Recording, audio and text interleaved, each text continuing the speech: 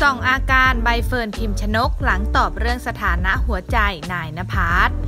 ทำเอาบรรดาแฟนคลับฟินกันทั่วบ้านทั่วเมืองไปเลยค่ะสำหรับคู่จิ้นสุดฮอตที่อีกไม่นานจะขยับสถานะมาเป็นคู่จริงแล้ว อย่างคู่ของใบเฟิร์นพิมพ์ชนกกับนาย ณภัทรก่อนหน้านี้ฝ่ายชายได้ออกมาเผยว่าตัวเองนั้นกำลังเดินหน้าจีบใบเฟิร์นอยู่ และจุดเริ่มต้นความสัมพันธ์นั้นมาจากหลังจบทริปมิลาน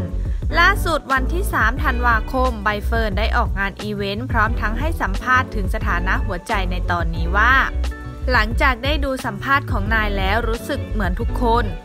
นักข่าวถามว่านายฝากถามจีบได้ไหมใบเฟิร์นพยักหน้าตอบรับแบบเขินหนักมาก แล้วตอบว่า อือหือ